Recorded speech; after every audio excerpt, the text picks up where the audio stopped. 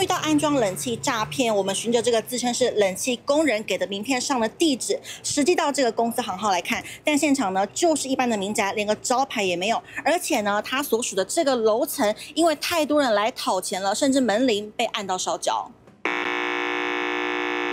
我们也按了电铃，但等二十分钟没人回应。冷气师傅收客人定金就人间蒸发。从去年开始，陆续有人上门找他。大概前几天而已啊，就一对情侣啊，说他到现在还陆续在变的，还有开开着车，然后就站在这里绕，然后开着广播一直广播，然后出来面对的。不过他疑似不是独自犯案，画面中留平头就是名片上的诚信男子，脸书私讯被害人的也是他，但估价当天没现身，反而是由另一名男性友人负责，并留下。联络付款事宜，同样被列为共犯。被害人说，之所以会相信，是因为众多业者中，只有他们最热心亲切。像去年我们是有装成功的，应该要要有一些货物税，他就应该要用发票去申请嘛，对不对？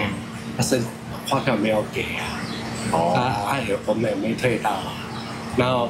用完了以后，他说他身上没钱，要跟我们借三千块，也没还呐。询问其他冷气业者，的确有些会预先收定金，但少数会白纸黑字记录，买卖双方都要特别注意。在我们这夏天的施工里面，不管是对我们或者是对客户，他其实都是希望在尽快的时间之内赶快处理好。那所以，对于一些呃文件上的琐事，可能就会尽量去省。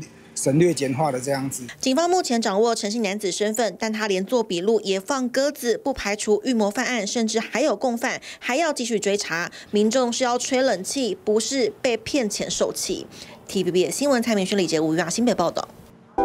想看最完整的新闻内容，记得下载 T B B S 新闻网 APP。